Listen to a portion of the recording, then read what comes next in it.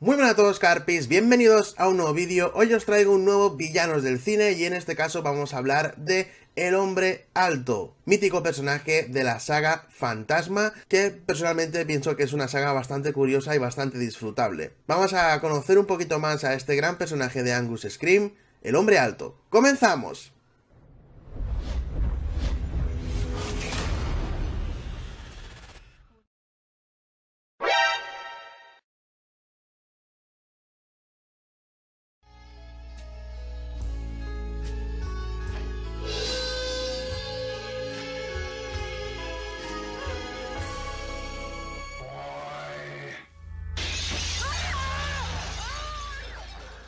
Jevedia Morningside es el sanguinario, maquiavélico e implacable ente maléfico de la saga de terror Fantasma, conocido como el Hombre Alto.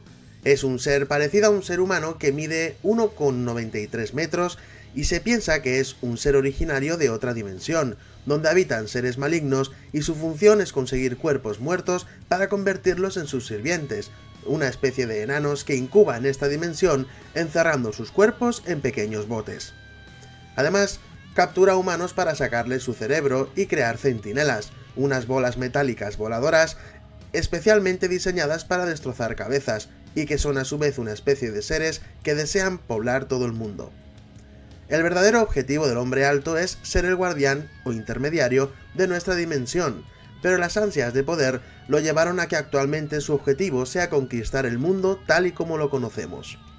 Él fue un ser humano de nombre Jevedia Morningside, un afable encargado de una funeraria en un pueblo de Oregón del siglo XIX, obsesionado con los viajes interdimensionales que después de poner muchos cuerpos en el suelo, empezó a preguntarse acerca de la conexión entre nuestro mundo y el mundo de los muertos.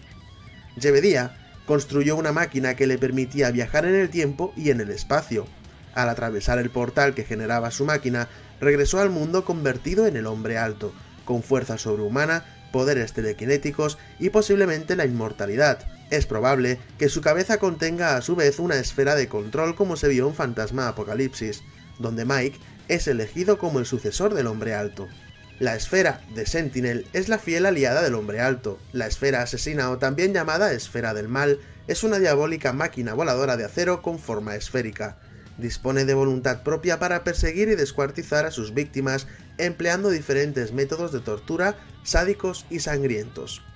De vez en cuando, el trabajo se acumula y las esferas salen en manada para una mayor eficacia, y algunas le sirven como cámaras para espiar los lugares donde va a atacar, otras son explosivos, otras llevan navajas filosas para rebanar, y otras para penetrar el cuerpo humano. La mayoría de las víctimas del hombre alto son convertidas en zombies enanos, como sus sirvientes y secuaces para conquistar y secuestrar personas, pero lo más importante, son también su ejército para las próximas conquistas.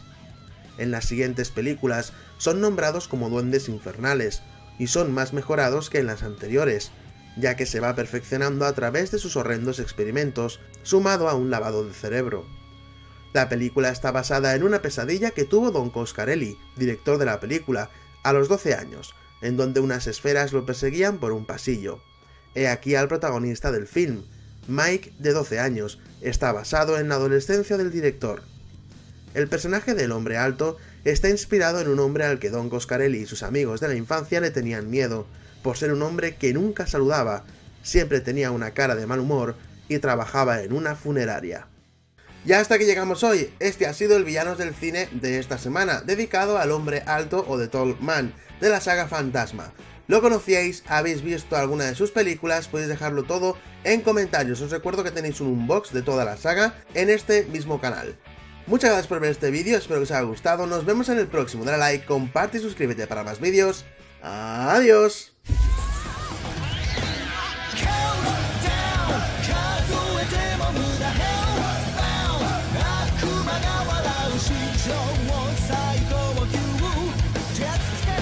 marino, oh.